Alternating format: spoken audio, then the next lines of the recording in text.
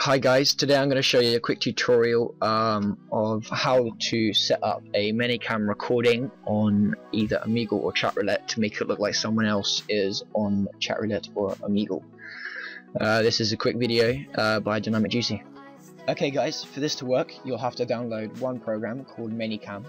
Uh, this program is absolutely free off the internet, um, you can get it off manycam.com, just search it on Google if you wish.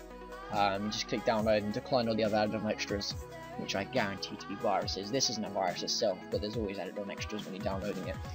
So you'll have to have many um, ManyCam open, um, an Omegle tab open, and also a separate um, YouTube tab or whatever you're going to use for the video. I'm using this Drake Drake video because it's just what I found and it looks pretty realistic.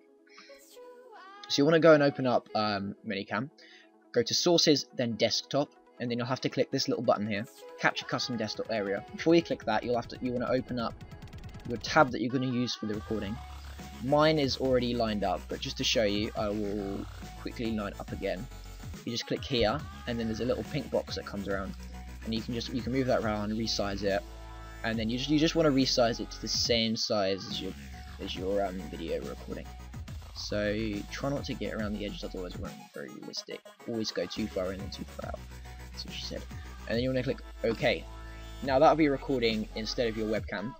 Um, so you can go ahead and close down ManyCam. You don't need to use that again. Uh, don't close it. Don't close it though. You just minimize it. Open up um, Omegle, and then open up your um, separate tab with the video recording. Then you'll want to start a new chat, and then go straight to ManyCam video source. Um, you, you have to, well, if you want to, you can mute it, um, mute the microphone, and then it usually would be on like your webcam settings, so it would say like you know two megapixel webcam, whatever. Um, you want to go to many web ManyCam video source and make that make sure that isn't ticked or highlighted. Um, then you open up this, and voila, it comes up perfectly. If you've done it right and the ManyCam has got the box perfect, then it will look good and well for me it looks pretty decent. Um, you can have a lot of fun on this you know trick people into thinking and get some good reactions.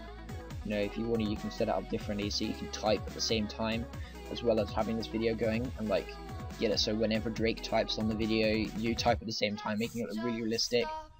You know get people to do stuff on Omegle and all that you know. So this has been a quick tutorial um, by Dynamic GC um, have a nice day